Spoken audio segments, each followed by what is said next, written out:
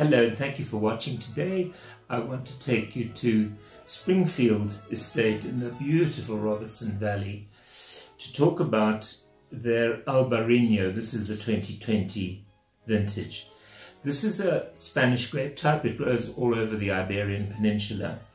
And the Bruwers in their travels fell in love with the with the wine, managed to get some uh, planting material, and they now have um, a full vineyard. Now, to me, this is just a wine that evokes wonderful memories of being um, in Spain and Portugal, eating wonderful fish.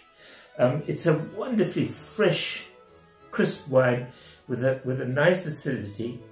Interesting nose, it's um, sort of stone fruit, um, apricots, um, nectarines, and a lovely sort of floral um, undertone there as well.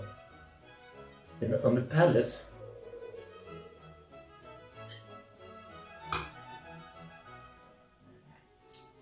completely captivating. It's got a lovely sort of kelp salinity to it and a river stone minerality. Remember when you used to suck those nice little round river, river stones when you were a kid? That's all there. And it's got this lovely bright um, acidity from entry right through into the, into the aftertaste.